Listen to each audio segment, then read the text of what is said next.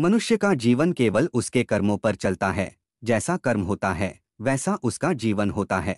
जैसे तेल समाप्त हो जाने पर दीपक बुझ जाता है, उसी प्रकार कर्म के क्षीण हो जाने पर भाग्य भी नष्ट हो जाता है। डॉट, अगर तुम अपना कल्याण करना चाहते हो तो सभी तरह के उपदेशों, सभी धर्मों को छोड़कर मेरी शरण में आ जाओ, मैं तुम्हें मुक्ति प्रदान करूँगा।